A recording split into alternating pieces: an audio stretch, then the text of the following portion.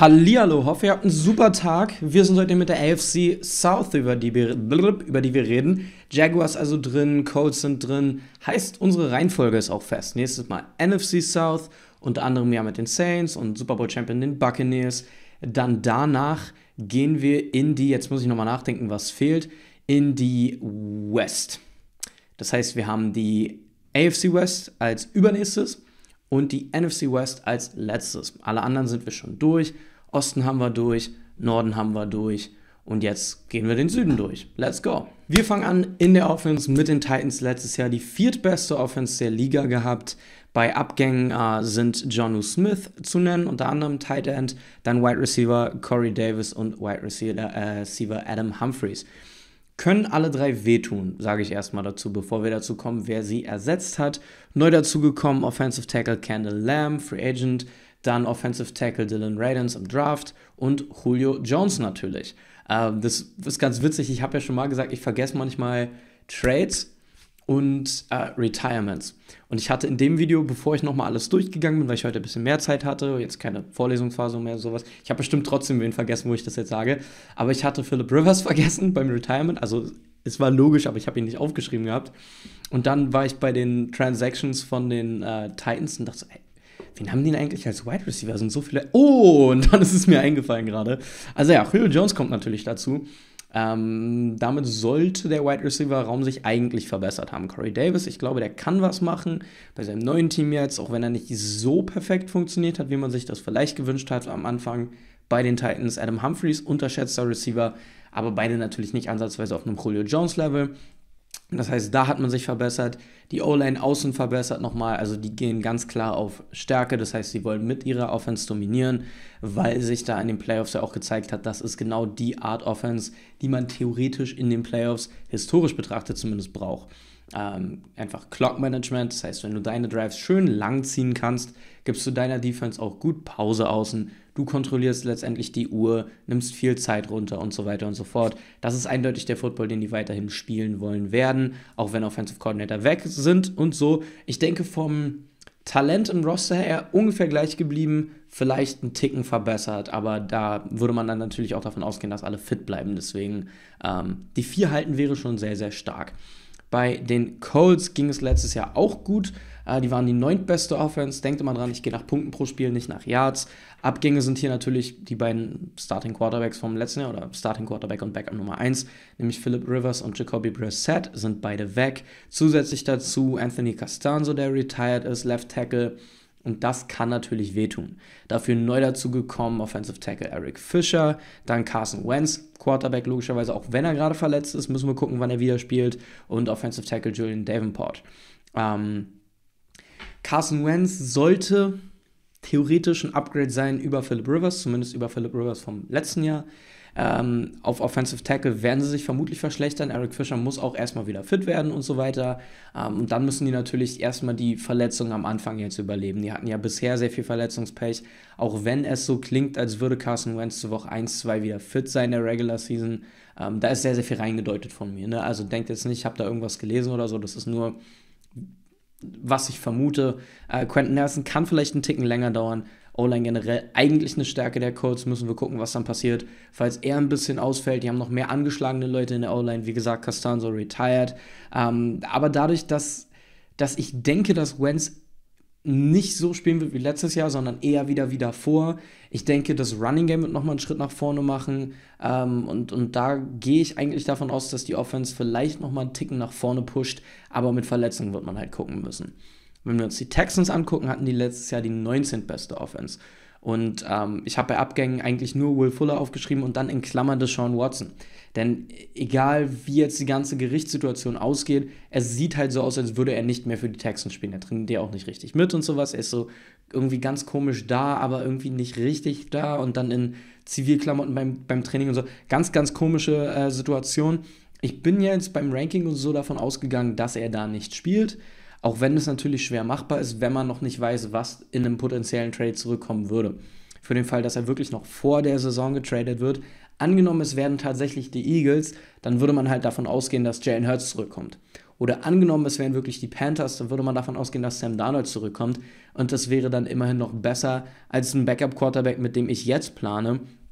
Ähm, und da haben wir zwei bei den Neuzugängen und das ist einmal äh, Terod Taylor und dann Davis Mills im Draft und einer von den beiden. Ähm, ich, ich muss sagen, Terod Taylor ist kein schlechter Quarterback und der ist halt so ähnlich wie Will Fuller.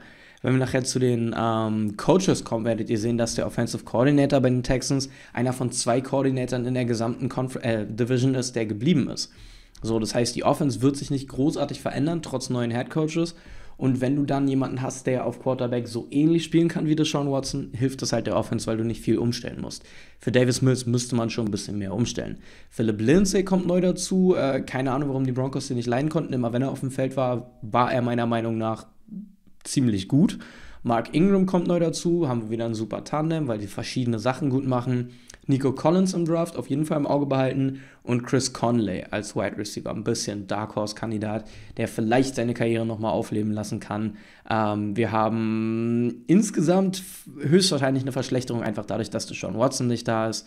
Um, ähm, und, und Will Fuller tut halt auch weh, auch wenn er nicht mehr so oft gespielt hat in letzter Zeit mit den Verletzungen und so weiter. Um, ähm, Philip Lindsay wird helfen. Nico Collins hoffe ich, dass er helfen wird, aber insgesamt werden die sich höchstwahrscheinlich verschlechtern. Jaguars letztes Jahr die 30 beste Offense, das heißt die drittschlechteste Offense ähm, der Liga. Ich glaube, nur die beiden New York-Teams waren schlechter, aber ich bin mir gerade nicht ganz sicher. Abgänge sind hier Keelan Cole auf Wide Receiver, Chris Conley, wie eben erwähnt, auf Wide Receiver und Didi Westbrook auf Wide Receiver. Ist drei Wide Receiver-Abgänge.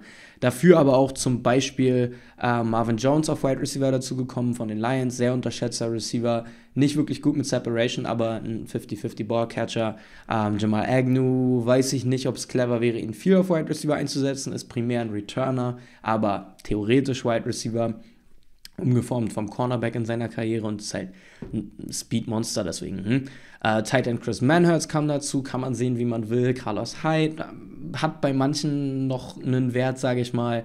Und dann natürlich im Draft First Overall Pick Trevor Lawrence, der wird das Ganze hochpushen. Running Back slash Wide Receiver Travis Etienne. Ich habe bei Madden, glaube ich, gesehen, als sie ihre Rookie-Ratings angeguckt haben, dass er da auch schon wieder als Wide Receiver geführt war. Also äh, das verwirrt mich echt ein bisschen und dann noch Offensive Tackle Walker Little. Die drei letztgenannten sind alle Rookies, werden höchstwahrscheinlich alle starten. Ähm, und gerade Trevor Lawrence sollte die Offense halt deutlich nach oben ziehen. Ich habe es schon häufiger gesagt, aber normalerweise ist man ja bei Rookies vorsichtig. Jetzt in den letzten Jahren nicht mehr so sehr wie in den Jahren davor.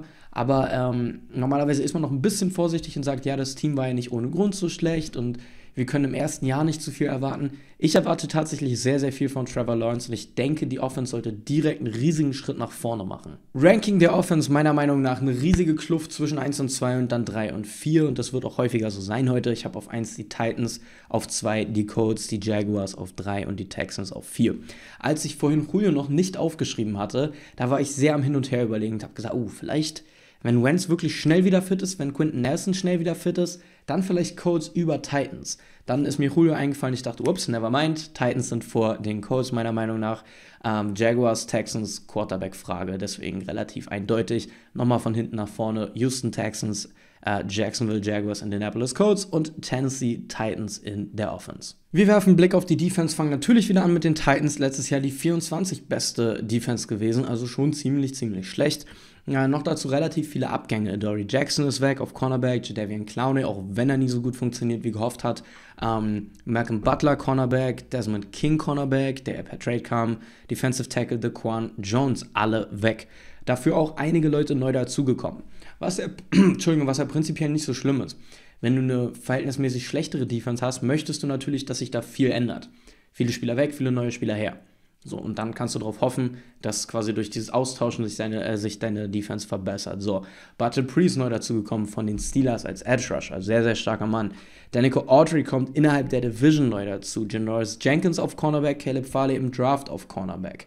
Äh, Monty Rice, Linebacker aus Georgia, wenn ich mich gerade nicht komplett am Leben vorbeirede. Auch der wird relativ schnell relativ viele Snaps sehen, meiner Meinung nach oder meiner Vermutung nach. Und dann Cornerback slash Safety, wo auch immer sie ihn einsetzen werden, Elijah Molden ähm, ich weiß hier ehrlich gesagt gar nichts. Ich, ich kann mir das nicht sonderlich gut vorstellen, wie die einzelnen Spieler ersetzt werden. Man kann sagen, Caleb Farley, wenn er so spielt wie prognostiziert, vermutlich ein Upgrade über Dory Jackson. Ist Norris Jenkins ein Upgrade über Malcolm Butler und oder Desmond King, genauso wie Elijah Molden? Höchstwahrscheinlich erstmal nicht zumindest. Ähm, wird DeQuan Jones ersetzt? Nein. Ist Nico Autry oder Bud Dupree ein Upgrade über Jadavian Clowney? Vermutlich, aber müssen wir gucken. Äh, ich, ich kann mir vorstellen, dass es leicht nach oben geht, aber ich glaube nicht, dass sie auf einmal jetzt aus dem Nichts eine Top 10 Defense sind nächstes Jahr. Bei den Colts, apropos Top 10 Defense, sie waren letztes Jahr die 10. beste Defense. Äh, Danico Autry ist weg, habe ich drüber geredet, gerade innerhalb der Division zu den Titans gegangen.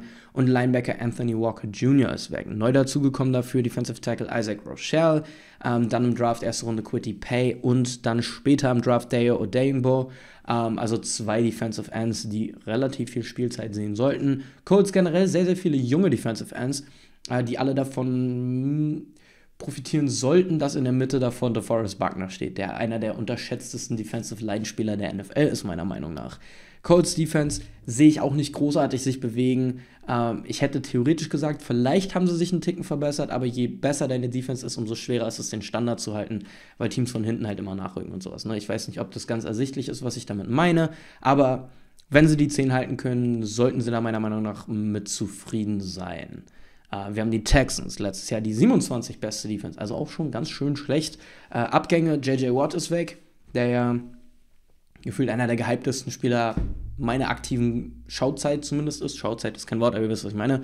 Uh, dafür sehr, sehr viele neue Leute dazugekommen. Outside Linebacker Kevin Pierre Lewis kam dazu. Cornerback Terrence Mitchell kam dazu. Outside Linebacker Jordan Jenkins. Dann Cornerback Desmond King auch wieder innerhalb der Division gewechselt. Äh, Christian Kirksey und Kamal Gruger Hill auf Linebacker jeweils. Also da wurde sehr, sehr viel in eher unter dem Radarspieler investiert. Wenn ein, zwei davon vielleicht eine Breakout-Season haben, dann könnte das auf jeden Fall nach oben gehen. Insgesamt denke ich, die Defense sollte sich auf jeden Fall verbessern, wenn auch nicht deutlich.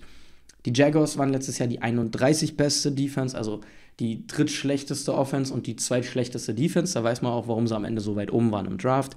Al Woods ist weggegangen, glaubt nicht, dass das sonderlich wehtun wird, ist ja auch schon eher am Ende seiner Karriere. Neu dazugekommen Shaquille Griffin, einer der besten Cornerbacks oder zumindest bestbezahlten Cornerbacks in der Free Agent Klasse jetzt. Dann Safety Rayshon Jenkins zusammen mit Safety Andre Cisco im Draft und äh, Jonathan Ford nicht im Draft. Cornerback Tyson Campbell kam im Draft und Defensive Tackle Roy Robertson Harris entweder von den Bears oder über Zwischenstationen von den Bears. Da bin ich mir gerade nicht ganz sicher. Aber das ist auch eher ein, ein, Spieler, den du vermutlich mal reinrotierst, der jetzt nicht unbedingt der Star Interior D-Liner ist. Meiner Meinung nach zumindest. Äh, ich habe hohe Hoffnung in Tyson Campbell und Andre Cisco. Beziehungsweise Tyson Campbell nicht wirklich hohe Hoffnung, aber ich nehme an, er wird sehr viel Spielzeit sammeln können im ersten Jahr und äh, wird da auch Zeit haben, sich zu entwickeln. Ich glaube nicht, dass er direkt am Anfang Shutdown Corner sein muss. Die hohen Erwartungen sind dann vermutlich eher auf Shaquille Griffin wenn man auf 31 ist, ist natürlich die Wahrscheinlichkeit alleine, sich zu verbessern, schon deutlich größer, als sich zu verschlechtern, weil es halt nur einen Spot gibt, sich zu verschlechtern. Und dafür musst du dich auch extrem dusselig anstellen, weil es bestimmt mehrere Defenses geben wird, die dieses Jahr richtig abstürzen. Vielleicht auch wegen Verletzungen, wer weiß. Aber ich denke, die Jaguars werden sich auch hier deutlich verbessern. Insgesamt mein Defense-Rating ist so ähnlich wie das Offense-Rating, nur zwei Teams sind vertauscht. Ich habe die Colts auf 1, dann die Titans auf 2, die Jaguars auf 3 und die Texans auf 4.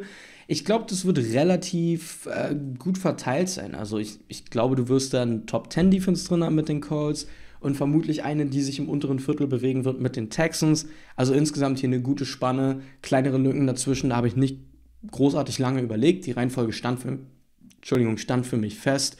Äh, man könnte drüber nachdenken, ob man Texans und Jaguars tauscht, aber ich denke, die Jaguars machen einen dickeren Schritt nach vorne als die Texans. Wir kommen zum Coaching und ich habe es vorhin gesagt, obwohl wir nur, sage ich mal, zwei neue Head Coaches haben in der Division, haben wir trotzdem nur zwei, auf, äh, zwei Coordinator insgesamt, die bleiben. Sehr, sehr viel Turnover innerhalb der Division. Bei den Titans ist nach wie vor Head Coach Mike Vrabel. Ähm, ich glaube, den, den liebt man oder hasst man ich habe immer so meine Phasen. Ich habe Interviews, da finde ich den super cool und dann finde ich den mega arrogant. Die ganze äh, Sache, wie er letztes Jahr mit Harbour und den Ravens umgegangen ist in dem Regular-Season-Spiel, fand ich uncool. Und seitdem ist er mir ein bisschen unsympathisch. Aber als Coach kann man ihm momentan nicht wirklich viel, äh, also nicht wirklich sagen, dass er irgendwas großartig falsch gemacht hat. Bisher zumindest als Head Coach. Neuer Offensive Coordinator, weil der andere einen Head Coaching-Job gekriegt hat, ist jetzt Todd Downing. Der war vorher der Tight End Coach bei den Titans, also innerhalb der Organisation befördert worden. Und Defensive Coordinator auch ein neuer, das ist Shane Bowen. Der war vorher der Outside Linebacker Coach, ähm, also auch da innerhalb der eigenen Reihen befördert worden. Beide schwer einzuschätzen für mich, weil Position Coaches immer so ein Ding sind. Da kann ich meistens nicht wirklich viel zu sagen. Oder wenn dann nur sekundär von wegen, oh, ich habe das und das gelesen, das und das könnte passieren. Nicht von wegen, das ist meine eigene Meinung über den. Äh, Colts, Head Coach nach wie vor Frank Reich, habe ich sehr unterschätzt damals, als er zu den Colts gekommen ist. Ihr wisst ja eigentlich, sollte da jemand anders und dann musste er da kurzfristig einspringen, hat einen super Job gemacht seitdem. Neuer Offensive Coordinator ist Marcus Brady, war vorher der Quarterback Coach und äh, der Defensive Coordinator ist einer von den zwei in der Division, der bleibt, also nach wie vor Matt Eberflus. Starken Job gemacht die letzten Jahre. Bei den Texans. Neuer Head Coach David Culley, ich habe schon häufiger darüber geredet, der war vorher der äh, Ravens Assistant Head Coach und äh, Wide Receiver Coach und Passing Game Coordinator. Aber es fühlt sich wirklich sehr so an, als hätten sie jemanden gesucht, den man in ein, zwei Jahren wieder rauswerfen kann für einen attraktiveren Head Coach, der dann kommt, wenn die Situation günstiger ist. Es wirkt tatsächlich so, als würden sie dieses Jahr ein bisschen abschreiben und einfach sagen, uff, das Jahr wird vermutlich nichts. Wir äh, haben hier nicht so große Ambitionen. Vielleicht kann man während der Saison noch ein, zwei gute Spieler wegtraden oder sowas. Wir haben dann unseren Headcoach, an dem wir nicht sonderlich hängen. Den können wir rauswerfen, sobald es wieder besser aussieht für uns. Das heißt, sobald wir vielleicht ein, zwei junge Starspieler und ein paar Picks im Draft haben, sowas in der Richtung. Es wirkt wirklich ein bisschen wie so ein, äh, wie heißt das? Heißt es Opferlamm? Nee. Scapegoat ist es im Englischen. Also jemand, den du quasi suchst, um ihn hinstellen zu können und ihm die Schuld zuschieben zu können. So wirkt das ein bisschen für mich. Offensive Coordinator bleibt Tim Kelly. Das ist der eine, über den ich vorhin schon geredet habe, dass deswegen die Offense so bleibt, wie sie für Deshaun Watson passt. Ähm, und Defensive Coordinator ist einer meiner, meiner absoluten Lieblingscoaches, seit Jahren schon, ähm, Lovey Smith. Ich weiß nicht, ob ihr den kennt, viele von euch vermutlich nicht, gerade wenn ihr euch nicht mit College Football beschäftigt. Der war die letzten Jahre Head Coach bei Illinois. Und gefühlt jedes Interview von dem ist so krass, sowohl footballtechnisch ein super Typ, als auch einfach ist ein bisschen, keine Ahnung, zu inflationär benutztes Wort, aber einfach wirklich cool. So, wenn man, wenn man sich ein Interview von dem anguckt, dann denkt man, Alter, was für ein, was für ein cooler Typ. Ähm, super sympathisch, absolut hoher Football-IQ. Ich fand super, was er bei Illinois gemacht hat. Ist ein herber Verlust für die, aber für die Texans ist es ein richtig, richtig guter Get. Ähm, also da wäre ich echt happy drüber als Texans-Fan. Äh, und selbst wenn David Culley irgendwann rausgeworfen wird, kann ich mir sehr gut vorstellen, dass Lovey Smith, äh, Smith da noch bleibt. Mal gucken, was er mit dem Roster anstellen kann, aber pff, großer Fan von dem. Jaguars neuer Headcoach Urban Meyer war zuletzt nicht wirklich aktiv, bisschen im Fernsehen, vorher Ohio State Headcoach. Ähm, davor auch bei Florida zum Beispiel schon Headcoach. Also vielleicht bin ich da ein Ticken parteiisch. Man kann menschlich von ihm halten, was man will. Viele Leute mögen ihn überhaupt nicht, ich zum Beispiel auch aber als Coach kann man nicht wirklich viel sagen. Als Coach hat er überall, wo er hingekommen ist, Erfolg gehabt. College ist allerdings was ganz anderes als NFL. NFL redest du letztendlich mit einem Raum von Millionären. Im College redest du mit einem Raum von Leuten, die alle nicht Angst vor dir haben, aber die alle extremst auf dich angewiesen sind. So selbst die Starspieler. Und in der NFL ist dann alles ein bisschen verschoben. Ähm, du kannst nicht recruiten, das heißt, du musst quasi scouten. Du musst die ganze Player Acquisition, also wie Spieler zu dir kommen, musst du ganz anders angehen. Ähm, ansonsten vom Football-Part her ist es natürlich gleich. Aber im College war er halt auch sehr gut, weil er gut Disziplin reinbringen konnte. Mhm. Ja, ich weiß, Florida-Team. Aber weil er bei Ohio State zumindest gut Disziplin reinbringen konnte oder On-Field-Discipline äh, zumindest. Ähm, und weil er ein guter Recruiter war. Mal gucken, wie das Ganze jetzt übersetzt wird zur NFL. Neuer Offensive Coordinator ist der Daryl Bevel, der war zuletzt Lions Offensive Coordinator, deswegen kenne ich mich da natürlich ein bisschen aus. Und auch Interims Head Coach, nachdem Matt Patricia weg ist. Sympathischer Typ. Offense. Ich fand sie nie wirklich richtig geil, aber ich hatte auch nie wirklich krass was dagegen. Ähm, und ich glaube, bei Coordinatoren, die von einem weggehen, in der Zeit, in der man nicht so erfolgreich war, da hat man tendenziell immer eher noch mal was dagegen. Ähm, deswegen ist es vermutlich ein positives Zeichen, dass ich jetzt nicht sage, äh, Daryl Bevel hat überhaupt keine Ahnung. Es waren ein paar Playcalls, die wiederholt aufgetreten sind, ein paar Muster, wo es mir ein bisschen zu konservativ war. Da weiß ich aber nicht, kam das von ihm oder von Patricia, was auch immer. Neuer Defensive Coordinator ist Joe Cullen, der war vorher der Ravens Defensive Line Coach. Coach das ist gerade passiert, weil ich Coordinator sagen wollte und dann dachte ich, nee, Defensive Line Coordinator gibt es nicht. Und deswegen wollte ich auf Coach noch umschwenken, aber da war Core schon drin, deswegen war es ein Coach. Also ja, ihr wisst, was ich meine. Defensive Line Coach ähm, kann ich euch leider nicht viel zu sagen. Mein Ranking, wenn wir uns die Coaches angucken, ich habe auf 1 die Colts, auf 2 die Titans, auf 3 die Jaguars und auf 4 die Texans. Hier natürlich auch wieder eine Riesenlücke, denn wir haben zwei sehr, sehr erfolgreiche und gute Head Coaches. Auch die beiden noch nicht so lange in der Division sind, aber Frank Reich hat mit den Colts sehr, sehr gute Sachen gemacht. Ähm, Mike Vrabel auch gerade in Richtung Playoffs sehr, sehr stark gespielt häufig. Allerdings habe ich mich aufgrund von Matt Eberfluss, weil ich ihn kenne und weil ich die Defense mag, dann für die Colts entschieden. Ist aber auch eine, das hätte man genau andersrum sagen können, da wäre ich kein Böse oder würde nicht da irgendwie mangelndes Wissen unterstellen. Bei Jaguars und Texans habe ich erst ich wollte erst Lovie Smith quasi sehr, sehr auf die Waage legen und sagen, okay, deswegen sind die Texans für mich vorne. Dann habe ich aber gedacht, okay, Head Coach ist vermutlich wichtiger. Und noch dazu glaube ich halt echt, dass Daryl Bevel nicht schlecht ist als Offensive Coordinator. Und deswegen habe ich mich dann für die Jaguars auf drei entschieden, die Texans auf vier, die Colts auf eins und die Titans auf zwei. Wir gucken uns insgesamt das Ranking an und wer die jetzt ein bisschen mitverfolgt hat, hat gemerkt, dass äh, Defense und Offense ähm, natürlich verschieden waren, nur auf der einen Position, auf 1 und 2 und dass Defense genau das gleiche war wie das Coaches Ranking und damit ist das insgesamte Ranking natürlich auch nochmal genauso. Heißt, wir haben die Colts auf 1, die Titans auf 2, die Jaguars auf 3 und die Texans auf 4. Ich würde sagen, Colts und Titans sind sehr, sehr eng beieinander. Dann ist eine ziemliche Lücke zu den Jaguars und dann ist vermutlich nochmal eine ziemliche Lücke zu den Texans. Ähm, wir werden sehen, wo das Ganze hinführt. Man kann jetzt allerdings auch, wenn man Titans Coach, äh, Coach, genau, falls Mike Vrabel hier zuguckt, wenn man Titans Fan ist und sagt, uh, das ist ärgerlich. Also ich weiß, die meisten von euch werden in dem Fall jetzt sowieso sagen, ich bin Titans-Fan, JD hat keine Ahnung, die Titans müssten auf 1. Aber falls ihr eher von der anderen Sorte seid ihr sagt, uh, nee, JD hat die auf 2, jetzt komme ich auch ein bisschen ins Denken, macht euch keinen Kopf, denn ich bin, obwohl ich theoretisch nicht wirklich was gegen die Titans habe, gefühlt unterschätze ich die sehr, sehr häufig. Und obwohl ich gar nicht wirklich pro Colts bin, überschätze ich die häufig. Also es kann sein, dass das genau switcht, weil ich das eine Team überschätze, das andere unterschätze. Deswegen äh, macht euch da nichts draus. Und wie gesagt, ich glaube, die sind sehr, sehr eng. Auf 1 habe ich die Colts, auf 2 habe ich die Titans, auf 3 habe ich die Jaguars und auf 4 habe ich die Houston Texans. Alles klar, das war's mit dem Video. Ich hoffe sehr, dass es euch gefallen hat. Wenn ja, würde ich mich freuen, falls ihr ein Like da lasst. Wenn ihr neue Seiten nichts mehr verpassen wollt in Zukunft, dann abonniert einfach. Und ich hoffe, wir sehen uns alle im nächsten Video wieder. Bis dann. Ciao.